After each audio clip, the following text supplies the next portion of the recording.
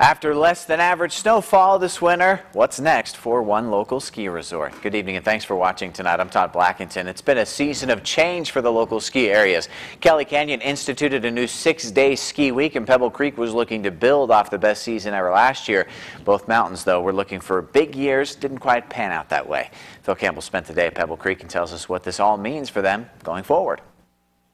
It turns out that Mother Nature has a cruel sense of humor. One year after arguably their biggest year ever, the snow arrived late to Pebble Creek this year.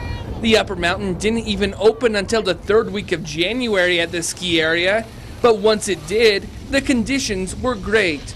Pebble Creek will close for the winter season in a couple of weeks, but not before going out with a bang. This Friday, Saturday, Sunday will be open. And we have the dummy race on Saturday, which is an incredibly fun event. People's vote, voting for People's Choice is from noon until 2, and then those dummies will start flying off that jump about 2 o'clock. Then we have a band to play afterwards. You can learn a lot in lean years like this, mainly who your friends are, and Mary says they have plenty of friends here in eastern Idaho. Well, one thing that is so heartening in a year like this is our guests, our regular skiers and boarders, are so wonderful.